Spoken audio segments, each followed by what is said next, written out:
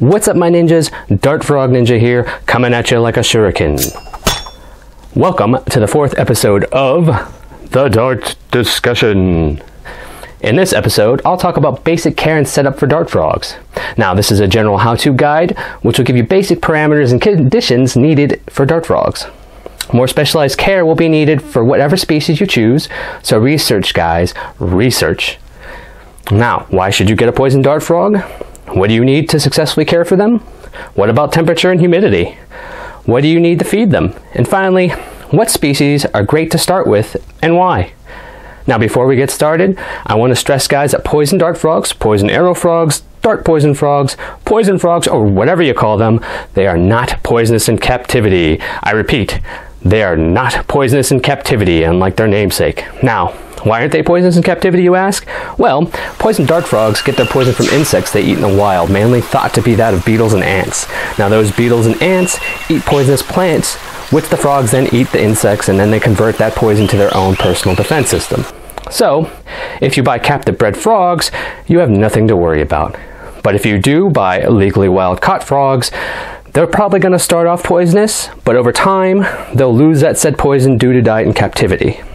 Now, handling of the frog should be kept to a minimum, and you should either wear powder free latex gloves or rinse your hands with water, no soap, and leave them damp if you're going to handle the frogs. Now, without further ado, let's get hopping.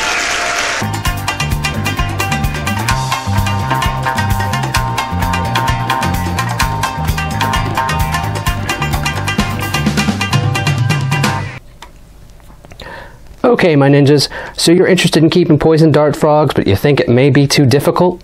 Well, I'm here to tell you that most species are relatively easy to keep and not too hard on your wallet either. Now, initially, the setup is going to be your biggest cost, but think of it as a long term investment, as dart frogs generally live 5 to 10 years in captivity, with some species living up to 15 to 20 plus years if kept under the right conditions. Here are some reasons why you should get a dart frog. They are highly co- they are brightly colored and make great showroom animals, much like a saltwater or freshwater aquarium. They are diurnal, meaning they're active during the daytime and go to sleep during night. You get to have a slice of rainforest in your home. Who doesn't want that? I mean, look at that. They're low maintenance pets. You only have to spend a few minutes a day of any kind of feeding or tank maintenance. That's right, guys. No cleaning up poop or changing cage beddings. Different species have different mating calls. Some are loud like canary calls, some with low buzzes, others with sharp trills, so it makes you feel like you're in the jungle.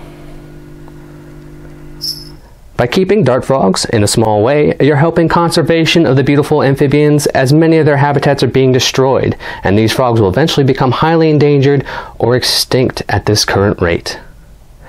Lastly, well, because you love frogs just like I do. I mean, who doesn't love these guys? I love my frogs. Next, I'm going to tell you what you need to keep dart frogs.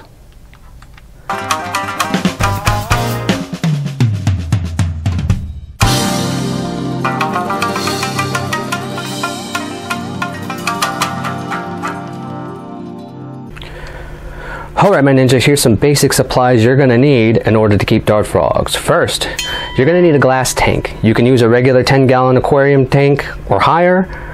Um, I prefer the front cage door opening Exo Terras, the Zoo Meds, and Biopods that allow easy access into your enclosure from the front.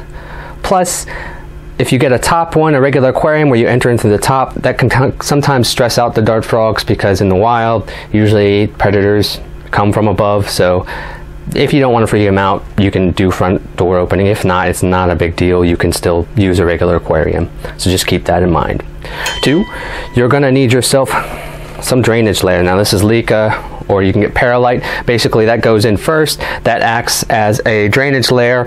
It's going to have all where all the water drains down to. It's going to keep it down there. It's going to circulate the humidity, um, and it's also going to keep the water from sitting in your uh, substrate and causing your substrate to rot. So it, you do need yourself some of this. Next, you're going to need yourself a substrate barrier. Now this is a Exo Terra barrier that goes on top of the drainage layer and between that and the substrate layer. So that just keeps your substrate from sitting in the wet drainage layer. So there's that. Next, you're gonna need to get yourself some ABG mix or something extremely similar. This is ABG mix right here. Uh, it is nice and balanced. It is used for plants. Uh, it is so it's got the right kind of composition to help them be healthy. It's got some charcoal, some moss in there, as well as some bark and dirt. So that's good for your frogs. It's good for your plants. It's good for your microfauna. So you're going to need yourself some ABG mix or something similar to that. Next, I don't have it displayed, but you'll need some live tropical plants, vines, ferns, bromeliads, mosses, stuff like that. Anything that does well in a tropical environment, get yourself some because your frogs are going to appreciate live plants. It's going to be better for them in the long run. Also, when you do get live plants, make sure that they are pesticide and chemical free and always give them a nice wash before adding them. Wash off any excess dirt and soil. You don't want any of that getting in your vivarium, so keep that in mind. Next, guys, you're going to need some sphagnum moss. That's right. This, guys, is going to go on top of your substrate and it's going to keep the uh, substrate from clinging to your frog's skin. Like I said before, they don't really typically like too much to cling to their skin. They don't like dirt on them. So uh, just have that. And it also adds to the humidity and helps with the plants as well. And it gives your microfauna places to hide and eat as well. All right, so next, you're gonna need yourself some leaf litter right here. I have some magnolia leaf litter that I collected myself. I know it's got the Dart Frog connection bag. I just keep reusing the bag to hold it in. Um, but I collected this myself and I sterilized it. You're going to need a leaf litter layer. You can use various different kinds of leaf litter. We, I went over that in the Dart discussion. Uh, definitely check that out. I'll link a video to that so you, you can go and watch that. Next, guys, you're gonna let's talk about lighting. You're gonna want to get yourself some LED bulbs or strips. These are great for plants. Your dart frogs don't require any kind of UVA or UVB, so you don't have to worry about that. But they do, uh, the plants are going to require a bright light source, so LEDs is the way to go. That seems to be the best. Um, and then you're going to want to get yourself a timer because you're going to want to have a 12 hour photo period, so the 12 hours of light and 12 hours of darkness. So there you go, that's lighting. Now next, you're going to want to get yourself a hand mister or a misting automatic misting system like Mist King or the Exo Terra Monsoon. I have here a hand mister this is great for watering the plants. This is great for misting the tank. Um, luckily, I have the automated system in the biopod, so I don't have to worry about that too much anymore. But that's something that you need to think about down the long run. Now next you can get wood accents like cork bark, driftwood pieces. Right here is a piece of Malaysian driftwood. Um, I haven't used it yet. I'll probably use some in the next setup. So that's an optional. You can get that, but it is good to have that because it acts as a uh, extra dimension for your tank. You can prop, it up so they can climb on it uh, or put it on the ground. You want to make it basically look like a forest jungle floor. Next, we have cocoa huts, guys. These things are used for breeding as well as hiding spots for your frogs. You just put it in there, you put it either a petri dish underneath it or put it on top of a nice white leaf and there you go. You got yourself a hide and a place for your most of your dart frogs will breed at. Now lastly, you're going to need yourself some springtails and isopods. That's going to make your vivarium bioactive and it's going to they're going to be the tank janitors, they're going to clean up the poop, the fungus, any mold, decaying plant material, and they're going to aerate your soil. So it's going to make it a nice little ecosystem in there. So that way you don't have to do really any kind of maintenance. So again, springtails and isopods, there's different kinds you can get. I've gone over the ones I have. If you want to look at some of my other videos, I show you how to set up cultures and how to keep them and uh, how to successfully breed them. So check that out. Now, some optional things that you can use uh, are going to be mosses like your sheet moss here. This is dried sheet moss. I went over moss in another video, again, another dart discussion. You can check that out. And then most of the Exo Terras and the Zoo Med enclosures have a screen top. So chances are you're going to want to go to Home Depot or Lowe's and get yourself a glass piece cut out. You can measure the top and width and then get that cut out and put it on top of your enclosure so that way it helps seal in the humidity and uh, keeps it nice and uh, the temperatures where it needs to be and the humidity where it needs to be. So that's it guys. This is basically all you need to keep dart frogs for a basic setup. Now next, I'm going to talk about temperature and humidity.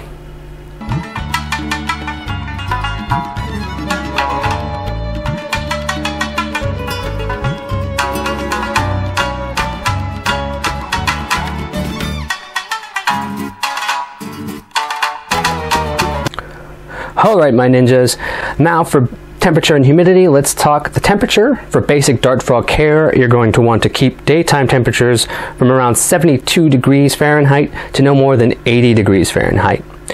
Nighttime temperatures, you're going to want it to keep it around between 71 degrees, dropping to as low as about 68 degrees.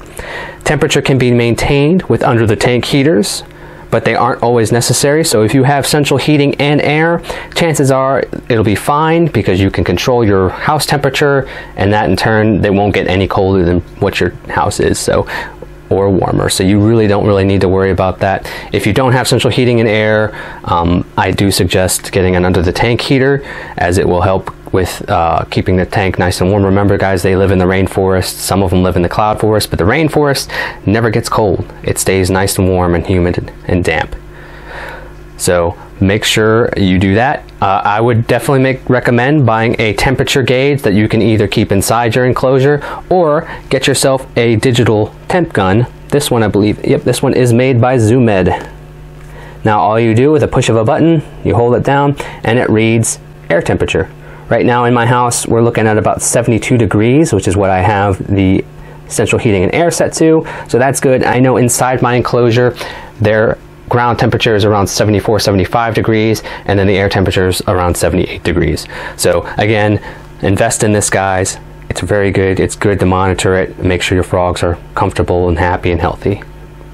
Next, let's talk about humidity.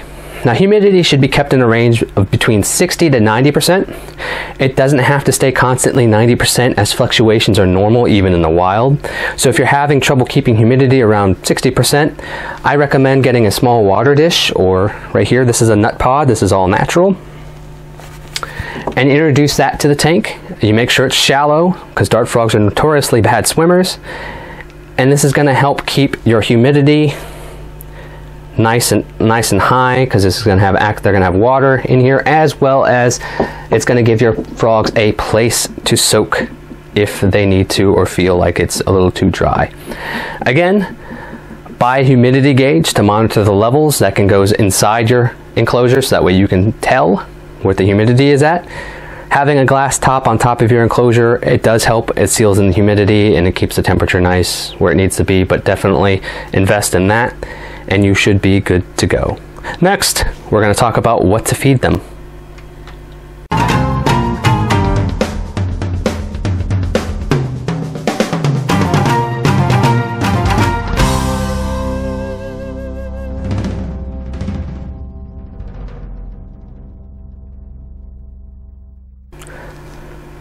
Alright my ninjas, let's talk about what you're going to need to feed your dart frogs. Now let's first go over the staple diet that you're going to need, which is going to be flightless fruit flies. Now, melanogaster or hydei are going to be the staple, and you're going to need to keep and culture these. We're going to need to make at least one culture a week, which is what I do since I only have two frogs at the moment. And then you're going to need to keep these in your house, nice, someplace nice room temperature or warmer, so they can breed and you can feed from this. So if you don't like insects or someone in your house hates insects, probably going to be an issue as you cannot just go out and buy these anywhere. You're going to need to keep them so that way your frogs have something to eat. Next, you can do pinhead crickets or something slightly larger, let's say 1 8 inch or a quarter of an inch, depending on the size of your frog. My guys can eat a quarter of an inch cricket, um, so I usually feed them 1 eighth or, one, or a quarter of an inch crickets. Pinheads are a bit too small for them, but for most other frogs, pinheads are going to work beautifully So keep that in mind. You can buy those. You don't have to breed those. You can breed them if you have a ton of frogs. I don't. So I go out and I buy them for every Friday, usually from Petco. Um, so there you go. Springtails, you're going to have springtails in there anyways for your tinier frogs. That is going to be a either staple food source like your thumbnails, or it is going to be a, just a substitute food source, something that they can forage around and eat. So you'll have springtails already in there, and we've already covered that. Same for isopods, depending on the breed of isopod you get, they could vary in sizes, so they can act as a substitute food source for all sizes of dart frogs. Bean beetles, another easy to keep and culture beetle. You basically keep them in a container like this. I don't have any. Um, and you keep uh, regular beans in the bottom with, I believe, maybe a coffee filter in there. They eat the beans, they produce more, and they're kind of, they're basically kind of like weevils. I'm thinking about getting some because they're high in protein and I want my frogs to breed and it offers them another source of food. There's worms, guys. Phoenix worms, extra small, tiny mealworms, and tiny waxworms. I do recommend the phoenix worms, guys, because they are really good for your frogs. They are um, high in protein. They're a little bit lower in fat content. They come in various sizes, extra small, small, medium, and large. Um, so, and then eventually they do turn into wasp looking like flies, but they're called black soldier flies. They don't bite, even though they look like wasps. So, if a larva, if the larva gets out in your tank, chances are it's going to burrow down, it's going to metamorphosize, and it's going to turn into a black soldier fly. So, you might see them buzzing around your tank and your frogs. Chances are they'll probably catch them and eat them. Again, they can't bite, they don't have the ability to, so you don't have to worry about them hurting your frogs. So if you do see black flies flying around from phoenix worms, don't worry, they can't bite you. Lastly, guys, you got termites.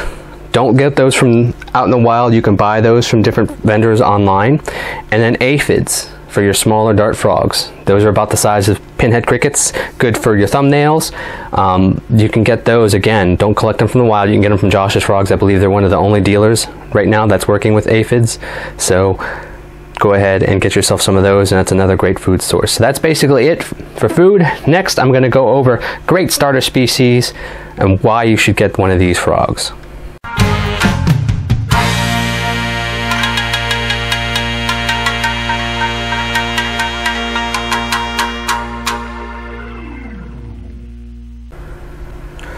Alright my ninjas, we're going to start off with great starter species for the new hobbyist and I'm going to say first off, make sure you do your research on the species you'd like to keep first before jumping into this hobby. What I've given you out is the basic outline for what you need to keep these three frogs I'm going to list. But if any of them strike your interest, do research. There's plenty of research materials out there. There's books, there's websites, there's forums, there's Facebook groups. You can ask me any specific questions. I can give you specific details. Right now, I'm just giving out basic care so you can get a basic setup set for your frogs. So, with that said, I'm going to list off some great beginner frogs, and here's why they are great beginner frogs. First, they're bold, they're hardy, they're relatively low maintenance, they're very active, they can be a bit more forgiving to beginner mistakes, they're larger dart frogs, and they're relatively cheaper. I started with these guys myself around 18 years ago, and they got my love of dart frogs, uh, let's say, even in, and deepened into myself. I don't even know if that's a word, but that's what I'm going to go with. So they helped my passion for dart frogs grow. So here are the three species I recommend starting with. First, you got Dendrobates tinctorius azureus, the blue poison dart frog. Dendrobates leucomelas, the yellow banded or bumblebee poison dart frog. And Dendrobates auratus, the green and black poison dart frog. These species are again recommended for the reasons I explained above. I left out a couple of other species that are fine for beginners due to either the price of the frog or the actual size of the frog like thumbnails. Now after you get the basic care down and are successful with keeping one of the species I mentioned above, you can move on to other species of dart frogs such as other tinctorius, phyllobates like the guys I have, or thumbnail dart frogs. Last two points, please keep one species per tank. Do not mix species. It's important you don't do that as Dart frogs are incredibly territorial, more some species more than others. So if you mix different species, there might be tank fights, you might get injuries or even death. So you don't want to mix for that reason. Two, do, they will hybridize. Some dart frogs will breed with each other. So you might get a Leucomelas or a, an Auratus. They might breed and they might create a completely hybridized frog. Not good, guys. You don't want to do that. Ho hobbyists such as myself, we like to keep the lines pure um, because again this is for conservation purposes. So we want the frogs as they appear in the wild to appear in captivity the same way. And in case that like I said they become extinct we have those pure bloodlines. We have those pure frogs as they appear in wild in captivity. Um, so again it's bad for your frogs to mix. Don't do it. I don't recommend it. I've seen people do it they say it's fine but again there's places that just hybridize them and then they if you know if you're in the hobby you know the place i'm talking about then they sell them as a trademark species which is just bad so don't do it. So keep that in mind guys. And again do your research before you buy any frogs so you can ensure proper care is given to them and that they live long happy healthy lives and hopefully maybe you'll even get breed, uh, breeding happening uh, it's pretty cool. I've had it happen a couple of times with my guys. I'm hoping that they'll start again soon. The rainy season's coming up in April, so we'll see what happens. Again, guys, thank you for watching. Check back next week for the next episode of the Dart Discussion. Check me out on Instagram, and I now have Twitter. Bing. At Dartfrog Ninja. And then you can do a search for me on Instagram, Dartfrog Ninja, and I'll pop up. You'll see my logo as my main profile picture, so you'll know it's me. There you can see more pictures and behind the scenes look at my frogs' lives, as well as my own please guys like, subscribe to my channel and comment for more videos. The more subscribers I get, the more videos I'm going to keep putting out, the more content I'm going to keep putting out. Thank you for your continued support guys, and frog on.